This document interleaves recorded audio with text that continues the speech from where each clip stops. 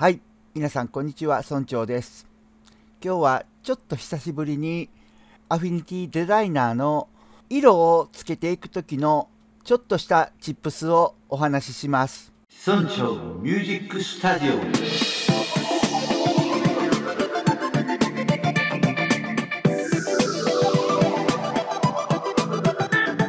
今左のようなギター。これをちょっと左寄りから見た立体的なギターをデザインしています。このようにしていくときにちょっと茶色くしているところありますよね。この部分ですね。いわゆる影をつけるために横から見える部分。こういうのをきれいに描いていくという方法です。こういう時にどうしたらいいんでしょうか。通常こういうのって色を塗る時は囲んでないとですねちょっと簡単に書いてみますけれども大きく書きますね。はじめにこれに近いデザインがあるとします。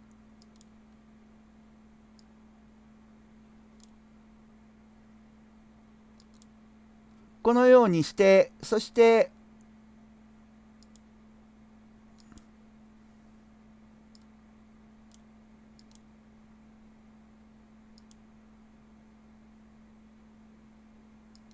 一つのデザインがあったとしますよね。そうしましてこの影のようなデザインを作ろうと思えばですねここに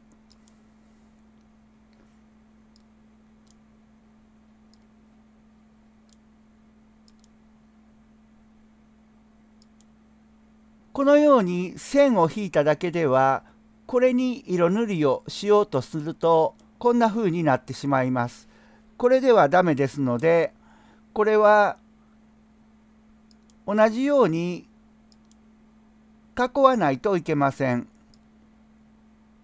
でも直線の部分はいいにしてもここですねこれが同じように真上に持ってこないといけないわけです。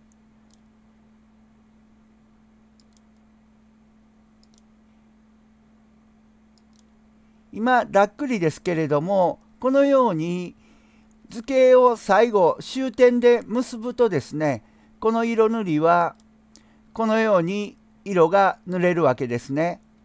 でもこれではこういう部分が正確にするのは後からですねまたノードツールを使いましてこうやって合わすとかいろいろ大変なことができてきます。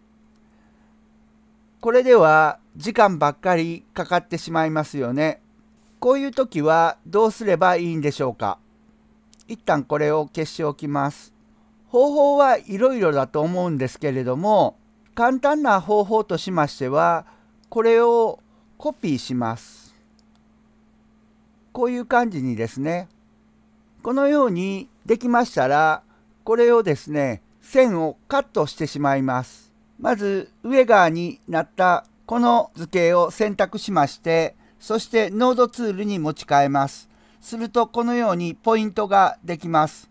ここでポイントを右クリックするとカーブを切断というのがあります。このようにしますと切断することができました。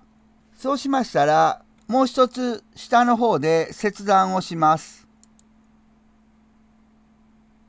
これで図形が2つになったわけです。ちょっとやってみましょう。こちらを選択しましてデリートを押します。するとこのように線だけが残りました。はい。このようになっていますのでこの線をもう一度ノードツールに持ち替えましてそしてここを突き抜けるようにこのように線を描きます。そして今度は下の方もそうです。こうやって線を描きます。今日の本題はここからです。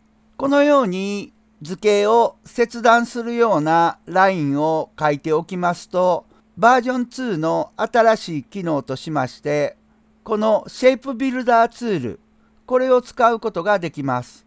ここでアクションというところにプラスとマイナスとそしてこの図形が重なったような図形があります。ここでこの2つを選択しておきます。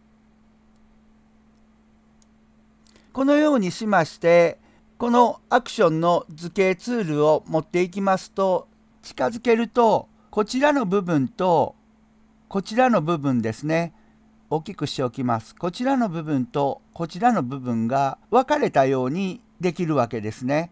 そうしましてここでカチンと押すと全く別のものになります。もう一度こちらの方もカチンとしておきます。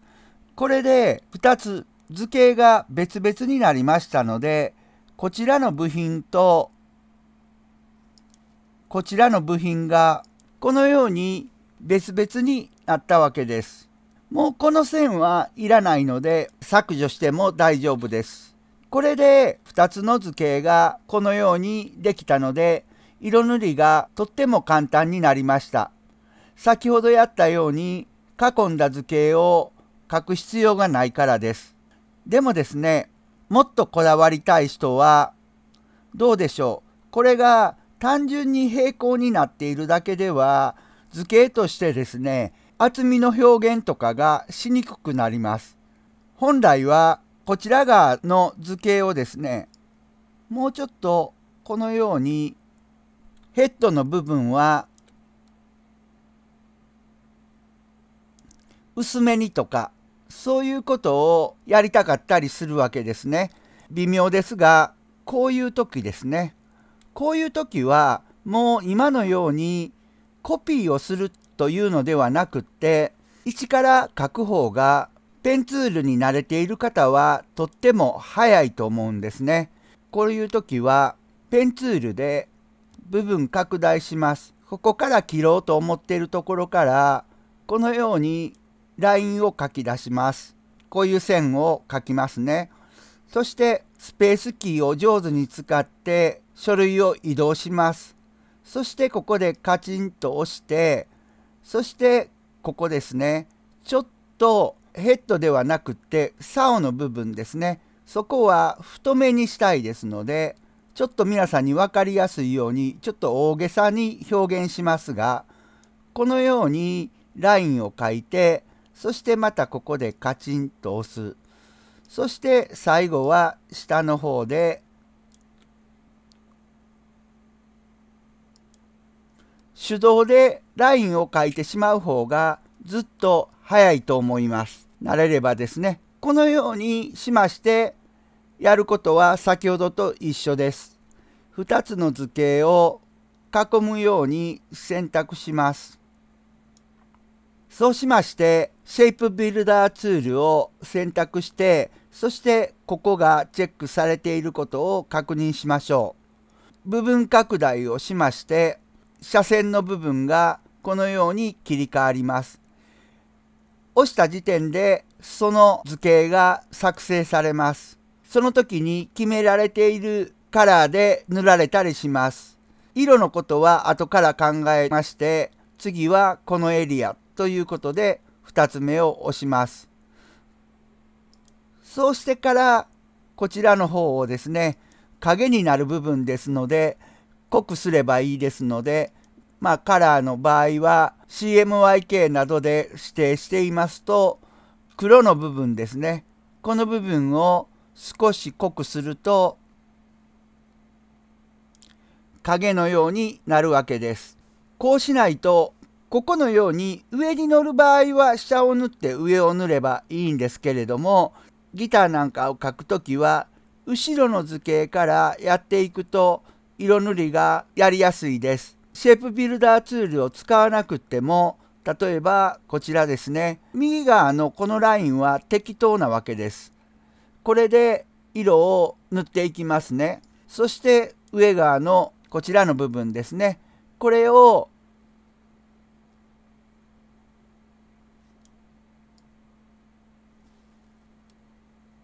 このようにするとギターのボディが書きやすいです。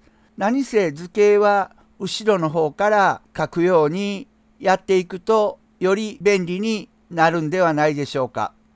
このギターのフレットがある鞘の部分これをですね塗る時も今のようなやり方ではなくて下の図形を書いておいてそれに上の図形を当てはめるというような今ギターのボデーでやったようなやり方でもいいんですけれどもそのことを忘れてしまった時は今日のようなやり方でチャレンジするとイラストレーターではライブペイントとかも言ってますけれどもそれに近いような色の塗り方ができるようになります。